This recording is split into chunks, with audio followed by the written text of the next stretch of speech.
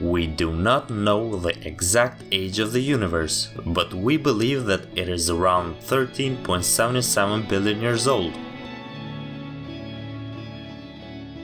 This age is calculated by measuring the distances and radial velocities of other galaxies, most of which are flying away from our own at speeds proportional to their distances.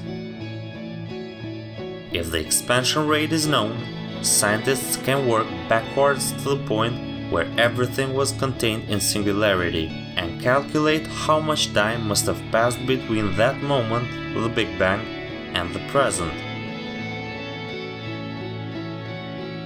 But extrapolating back to the Big Bang also requires knowing the history of the expansion rate, which we can learn about by examining the current density and composition of the universe. Cosmologists have studied observations of the cosmic microwave background, relic radiation left over from the Big Bang, to determine these parameters. Two spacecraft have measured the cosmic microwave background across the full sky.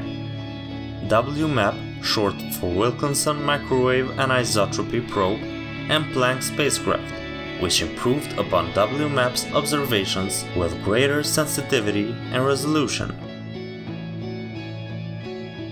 As of 2013, Planck data has set the age of the universe at about 13.77 billion years,